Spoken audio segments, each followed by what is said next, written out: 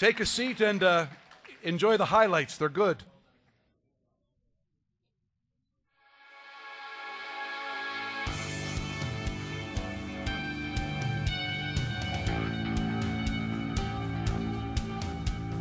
First time I heard about Chris Flynn, Larry Uteck had approached me about coming back to coach, and uh, he was after a top recruit out of Quebec uh, named Chris Flynn. He was supposed to be a super athlete, uh, real winner at all levels, and uh, Larry felt that that was the player he needed to turn the program around. And uh, so in 1987, uh, we were introduced at training camp. Go from the double fullback formation. Flynn wants to put it up, does so into the end zone, touchdown. He'll run with it. Now he unloads it to Scollard, complete up around the 50-yard line. Oh yeah, his reputation was big. it was, and uh, yeah, he put us on the map. I mean, you know, small St. Mary's University, we'd had no success in literally the decade before he got here, and next thing you know, we're number one in the country, and uh, you know, putting up some big scores and, and marching our way towards the Vanier Cup. That was a big deal for a lot of people. Didn't take long to to see the values he brought uh, to the field. He was a tremendous. Uh, leader. You could tell he wanted to win. He wanted to play right away. He was a rookie, and uh, he was the hardest working player I've seen in all the years I coached football. I was involved uh, for, all four years. He was tremendous work ethic, and then he became a student of the game. And as he became a student of the game and understood the game, he went from a great athlete quarterback to a real good quarterback that could throw the ball with some dynamic receivers. You know, he had all those weapons um, and he exploited them. He, he would just he would just make things happen. If he needed 200 yards rushing that day, he did it. If he needed 300 yards passing, he did it. Well, he always had the great quick feet, and uh, wasn't the fastest guy in the world, but he had quick feet, and uh, he had a uncanny sense to uh, feel pressure uh, around him, and. Uh, uh, that was something that allowed him to escape. And once he got in the open field, he just had a knack. It was like playing on the streets. He was just a natural. Flynn with the drop. Now he tries to get outside of the contain. Get some pressure. Hogwitz after him, and Flynn is all the way back to his 40-yard line. Finally unloads it over the middle. Complete.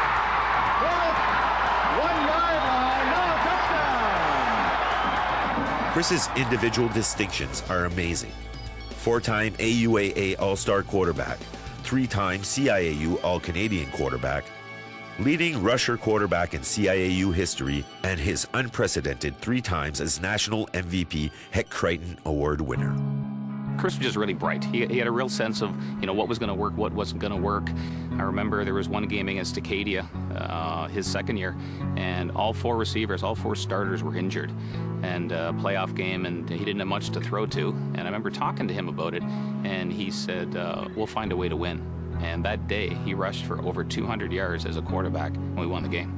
Each year, he built more confidence into the program. Uh, the players felt that with Chris, they could win. You could see it. They became better themselves. He made everyone around him better. And that was from his desire to win, his work ethic. But his numbers and his throwing statistics just became unbelievable. There was a lot of competition, but he was the best. And uh, you know, it's funny you, don't get perspective until kind of years go by, and, and you look at some of the uh, the records he put up, the 87 touchdowns in four years, which is ridiculous. No one's close. From 1987 to 1990, all Chris Flynn did was set records. He threw for the top two single season passing performances in CIS history with 27 and 30 touchdowns.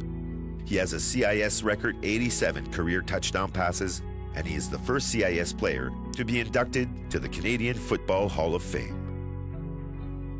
You put the whole package together, there's no question Chris Flynn was the best quarterback that could ever play. Was he the best thrower? No. Was he the best runner? Probably. But you put everything together, the intangibles, the winning attitude, the work ethic, uh, and his numbers, without question, prove that he's probably the greatest quarterback, probably the greatest university player ever to play the game. You know, you get perspective, you know, 25 years later, how wonderful it was. You know, great team, uh, great atmosphere, um, you know, great culture, and Flynn reinforcing that, you know, every day. You know, with the guys that stayed close um, 25 years later, and you know, and, and you can't not look back without thinking of Chris Flynn and the incredible contributions he made.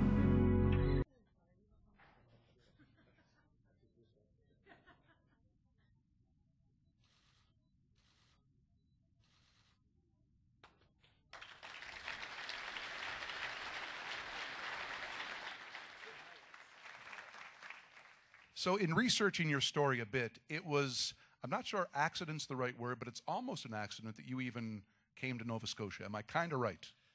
kind of, yeah. I had uh, prob- decided to go to Bishop's University in uh, in Lennoxville. I was intending to go there, and Coach Uteck had been calling me up uh, uh, all winter. I kept telling him, "No, thanks, I'm not interested." I'd already kind of made my decision to go somewhere else, but uh, he just called me on my spring break, and I just happened to be kind of bored in the middle of a spring break, not doing anything. So I said, "Sure, I'll come down on a recruiting trip." I didn't know about anything about St. Mary's or Halifax, but I came down. Uh, just it was a great week, and I fell in love with the city and the school. I re- really clicked with Coach Uteck too, and uh, I'm glad I came down. I'm glad he called me that particular week, and I'm glad I came down on that uh, on that recruiting trip. Anybody that talks about you and that era, they talk about how close that team was. And you always, in any interview I've seen, talk about teammates. That was a pretty close knit group, huh? It was, and uh, it was a great bunch of guys, and uh, and and I think we were a close knit team, just like any team that does well has to be. And uh, I got a lot of the guys are here tonight too, visiting, and uh, it's great to see them tonight. And I think, uh, yeah, we were a pretty pretty close team back then. Some of those plays we saw in the highlight reel, that's not exactly how they were called, right? No, Coach Robinson probably yelled at me a few times, and uh, it wasn't something I thought of or intended to, to do. I didn't even like scrambling around like that. It just kind of happened. I just, you know, try to do whatever it took to to win, to help the team win, and whether it was scrambling around 30 yards behind the line, and sometimes I would get sacked way back there and whatever. But I just try to do whatever whatever it took to win the game, and however manner it, it took, and that's just the kind of player I was, I guess. When you were extending plays by, by 15 to 20 to 30 seconds like that, can, can you remember what was going on in your head? Was it was it panic or was it creativity or somewhere in between? I don't know, just trying to survive, just trying to, just trying to stay alive and uh, find a, an open receiver. And I had some great receivers. I see Bill Scollard on that interview. Bill Scollard, uh, Brian Smith, Matt Neal, and Ian McDonald had some pretty good receivers back then, and, and a pretty good offensive line. And and the whole team, our defense was pretty good. When I first got to St. Mary's, they hadn't won in previous years, but they had a pretty good team, and maybe they were looking for uh, you know a missing piece, uh, you know maybe a quarterback, and I was just able to uh, come to I think join a pretty strong team, and uh, just uh, what's one of my proudest things is just coming to St. Mary's and helping you know turn that team around and, uh, and turning them into a winning program. 25 years later, does it still bug you even 0.1% that the only game you missed in your entire college career was the 1990 Vanier Cup because of a, a concussion? Yeah, the 88 Vanier Cup. Sorry. Yeah, and uh, for sure it was the only game I ever missed. And to play the whole season, we went 10 and 0 that year. Beat Bishops, who had the number one ranked defense in the Atlantic Bowl. That's the game I got hurt in. I played the rest of the game. I remember I couldn't even see the scoreboard the whole rest of the game. But back then, with when you got hit in the head or whatever, you uh, you just kept playing. And uh, but they wouldn't let me play the next game in the Vanier Cup. And but that's that's sports and that's football. So uh, still a lot of great memories. Pick pick one as we wrap it up here.